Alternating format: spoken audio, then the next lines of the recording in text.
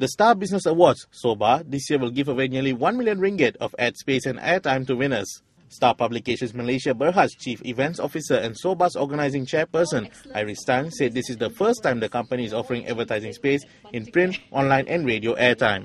Last year, participation grew by almost 40% with companies from all over Malaysia taking part. We target the participation to grow by double the amount as compared to last year. She said this during the presentation to announce the sponsors and partners for SOBA 2012. They are Exim Bank, the Royal Chulan and Bursa Malaysia. SOBA 2012 is divided into two broad categories, the Top of the Class Awards and Outstanding Achievement Awards. For the Top of the Class Awards category, Platinum winners will win 50,000 ringgit worth of ad space in all medium, Gold winners get 30,000 ringgit worth of ad space in radio and online, while Silver winners get 20,000 ringgit worth of ad space in radio. While for the Outstanding Achievement Awards category, Grand winners will win 50,000 ringgit worth of ad space in all medium.